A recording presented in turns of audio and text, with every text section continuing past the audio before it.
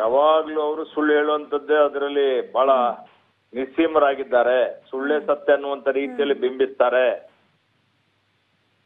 Hello? ಹಾ sir ಹೇಳಿ ಹೇಳಿ. ಈ ರೀತಿಯಲ್ಲಿ ಜನರಿಗೆ ದಾರಿ ತಪ್ಪಿಸ್ಲಿಕ್ಕೆ ಹೋಗ್ತಾರೆ ಸಿಕ್ಕಾಕೊಂಡಿದ್ದಾರೆ ಈಗ. ಈಗ ಹೆಂಗ್ ಸೋಲಾಗ್ತದೆ ಅಂತ ಹೇಳಿ ತಿಳಿದುಕೊಂಡು ಇವತ್ತು ಅವರು ವಾಪಸ್ ಪಡೆದುಕೊಂಡಿದ್ದಾರೆ. ಈಗಲಾದ್ರೂ ಬುದ್ಧಿ ಬರಲ್ಲ ಅವರಿಗೆ.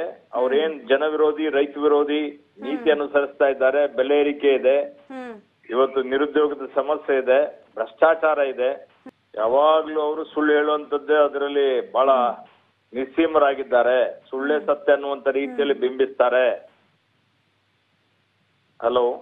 ಹಾ ಸರ್ ಹೇಳಿ ಹೇಳಿ. ಈ ರೀತಿಯಲ್ಲಿ ಜನರಿಗೆ ದಾರಿ ತಪ್ಪಿಸ್ಲಿಕ್ಕೆ ಹೋಗ್ತಾರೆ ಸಿಕ್ಕಾಕೊಂಡಿದ್ದಾರೆ ಈಗ.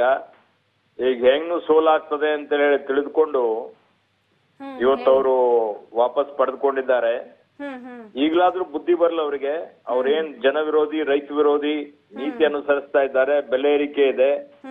ಇವತ್ತು ನಿರುದ್ಯೋಗದ ಸಮಸ್ಯೆ ಇದೆ ಭ್ರಷ್ಟಾಚಾರ ಇದೆ.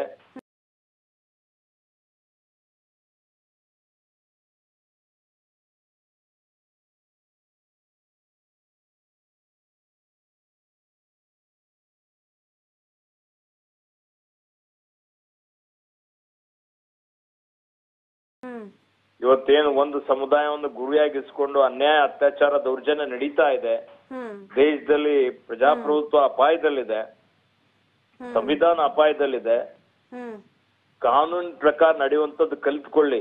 ಇವತ್ ನೋಡಿ ಹಾಡ ಆಗ್ಲಿ ಎಲ್ಲರ ಎದುರುಗಡೆನೆ ಒಬ್ಬ ಕೇಂದ್ರದ ಗೃಹ ಮಂತ್ರಿಯ ಮಗ ಇವತ್ ಜೀಪ್ ಅನ್ನು ಹತ್ತಿಸಿ ಸುಮಾರು ಜನ ರೈತರ ಕಗ್ಗೊಲೆ ಮಾಡ್ತಾನೆ ಕೊಲೆ ಮಾಡ್ತಾನೆ. ಅವನಿಗೆ ಇವತ್ತು ಯು ಪಿ ಸರ್ಕಾರ ಬಿಜೆಪಿ ಸರ್ಕಾರ ರಕ್ಷಣೆ ಕೊಡ್ತದೆ. ಇವತ್ತೇನು ಒಂದು ಇವತ್ತೇನು ಒಂದು ಸಮುದಾಯವನ್ನು ಗುರಿಯಾಗಿಸ್ಕೊಂಡು ಅನ್ಯಾಯ ಅತ್ಯಾಚಾರ ದೌರ್ಜನ್ಯ ನಡೀತಾ ಇದೆ. ದೇಶದಲ್ಲಿ ಪ್ರಜಾಪ್ರಭುತ್ವ ಅಪಾಯದಲ್ಲಿದೆ. ಸಂವಿಧಾನ ಅಪಾಯದಲ್ಲಿದೆ. ಕಾನೂನು ಪ್ರಕಾರ ನಡೆಯುವಂತದ್ದು ಕಲಿತ್ಕೊಳ್ಳಿ. ಇವತ್ ನೋಡಿ ಹಾಡ ಆಗ್ಲಿ ಎಲ್ಲರ ಎದುರುಗಡೆನೆ ಒಬ್ಬ ಕೇಂದ್ರದ ಗೃಹ ಮಂತ್ರಿಯ ಮಗ ಇವತ್ತು ಇವತ್ ಜೀಪ್ ಅನ್ನು ಹತ್ತಿಸಿ ಸುಮಾರು ಜನ ರೈತರ ಕಗ್ಗೊಲೆ ಮಾಡ್ತಾನೆ ಕೊಲೆ ಮಾಡ್ತಾನೆ. ಅವನಿಗೆ ಇವತ್ತು ಯು ಪಿ ಸರ್ಕಾರ ಬಿಜೆಪಿ ಸರ್ಕಾರ ರಕ್ಷಣೆ ಕೊಡ್ತದೆ.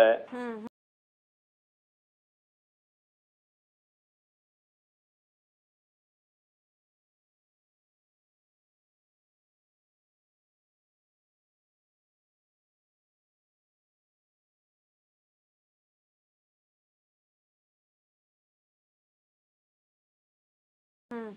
ಹ್ಮ್ ಯಾರು ಇವತ್ತು ಸತ್ತ ರೈತರ ಮನೆಗೆ ಹೋಗಿ ಸಾಂತ್ವನ ಹೇಳಬೇಕು ಅಂತ ಹೊರಟಂತ ಪ್ರಿಯಾಂಕಾ ಗಾಂಧಿಗೆ ಬಂಧನ ಮಾಡ್ತಾರೆ. ಎಲ್ಲಿದೆ ಕಾನೂನು? ನ್ಯಾಯ ಕೇಳಿ ಕೂದ್ರೆ ಅವ್ರಿಗೆ ಬಂಧನ. ದೇಶದ್ರೋಹ ಕೇಸು. ಜೈಲು. ಅವ್ರಿಗೆ ಅವ್ರ ಮೇಲೆ ದಬ್ಬಾಳಿಕೆ. ಅನ್ಯಾಯ ಮಾಡಿದವರು ಮುಕ್ತವಾಗಿ ಓಡಾಡಬಹುದು ಒಬ್ಬರಿಗೊಂದು ಒಬ್ರಿಗೆ ಮತ್ತೊಂದು ಕಾನೂನು ಇದೆಯಾ? ಹ್ಮ್ ಹ್ಮ್ ಯಾರು ಇವತ್ತು ಸತ್ತ ರೈತರ ಮನೆಗೆ ಹೋಗಿ ಸಾಂತ್ವನ ಹೇಳಬೇಕು ಅಂತ ಹೊರಟಂತ ಪ್ರಿಯಾಂಕಾ ಗಾಂಧಿಗೆ ಬಂಧನ ಮಾಡ್ತಾರೆ. ಎಲ್ಲಿದೆ ಕಾನೂನು? ನ್ಯಾಯ ಕೇಳಿ ಕೂದ್ರೆ ಅವ್ರಿಗೆ ಬಂಧನ. ದೇಶದ್ರೋಹ ಕೇಸು. ಜೈಲು. ಅವ್ರಿಗೆ ಅವ್ರ ಮೇಲೆ ದಬ್ಬಾಳಿಕೆ. ಅನ್ಯಾಯ ಮಾಡಿದವರು ಮುಕ್ತವಾಗಿ ಓಡಾಡಬಹುದು ಒಬ್ಬರಿಗೊಂದು ಒಬ್ರಿಗೆ ಮತ್ತೊಂದು ಕಾನೂನು ಇದೆಯಾ?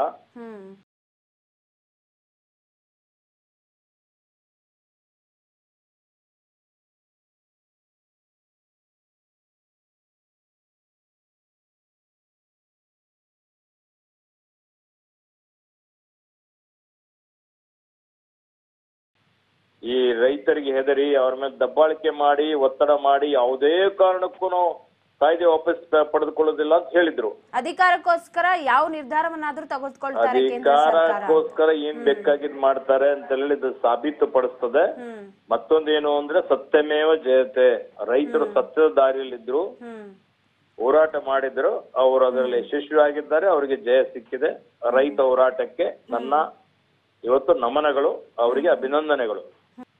ಈ ರೈತರಿಗೆ ಹೆದರಿ ಅವ್ರ ಮೇಲೆ ದಬ್ಬಾಳಿಕೆ ಮಾಡಿ ಒತ್ತಡ ಮಾಡಿ ಯಾವುದೇ ಕಾರಣಕ್ಕೂ ನಾವು ಕಾಯ್ದೆ ವಾಪಸ್ ಪಡೆದುಕೊಳ್ಳೋದಿಲ್ಲ ಅಂತ ಹೇಳಿದ್ರು. ಅಧಿಕಾರಕ್ಕೋಸ್ಕರ ಯಾವ ನಿರ್ಧಾರವನ್ನಾದ್ರೂ ತಗೊಳ್ತಾರೆ ಅಧಿಕಾರಕ್ಕೋಸ್ಕರ ಏನ್ ಬೇಕಾಗಿದ್ ಮಾಡ್ತಾರೆ ಅಂತ ಹೇಳಿ ಇದು ಸಾಬೀತು ಪಡಿಸ್ತದೆ. ಮತ್ತೊಂದೇನು ಅಂದ್ರೆ ಸತ್ಯಮೇವ ಜಯತೆ. ರೈತರು ಸತ್ಯದ ದಾರಿಯಲ್ಲಿದ್ರು. ಹೋರಾಟ ಮಾಡಿದ್ರು. ಅವರು ಅದರಲ್ಲಿ ಯಶಸ್ವಿಯಾಗಿದ್ದಾರೆ. ಅವರಿಗೆ ಜಯ ಸಿಕ್ಕಿದೆ. ರೈತ ಹೋರಾಟಕ್ಕೆ ನನ್ನ ಇವತ್ತು ನಮನಗಳು. ಅವರಿಗೆ ಅಭಿನಂದನೆಗಳು.